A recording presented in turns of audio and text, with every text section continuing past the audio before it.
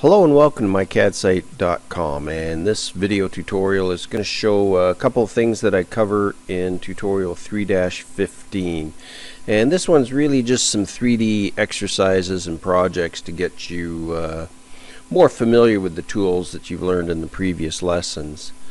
So the first one I'm just going to quickly go over and this is a chair. It's uh, drawn in solids as you can see.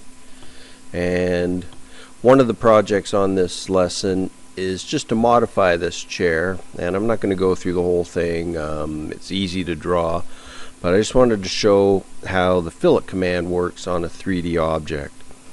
So I can just start my fillet command and I'm going to set the radius to 4 and if I pick this corner and press enter you can see that now it's got a rounded corner and I can do that on the other side. Just fillet radius. I'm just going to regen that. And there it is. And one other option that's really good to know when you're using the fillet command on 3D objects is the chain options. So I'm just going to do this again and I'm going to set this time the radius will be 0.25 and what I want to do is put a round edge on the top of this cushion. So I'm going to select this and press my uh, enter button.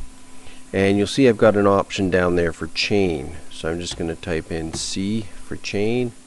And then I'm going to pick these other edges and press enter and now you can see that it's uh, just got a nice smooth radius right around the whole thing there. So that's how that part works. So I'm gonna go on to another part that's uh, covered and that's this part here. I'm just gonna go back to my top view here. Now this is a gasket that's been drawn in 2D and what we're going to do is turn it into a 3D object. And normally when I'm doing this I will keep my original 2D object because I may need it. Maybe I've already got this set up in uh, layouts and I need it printed out and such. So what I'm going to do is just copy everything over. I don't really need the dimensions so I'm going to skip most of those.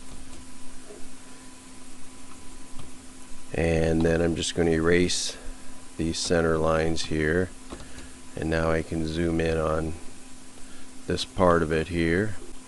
And you'll see I missed that top of that one. So I just need to copy that and I'm just going to go from this quadrant to that quadrant. So that's all lined up nice.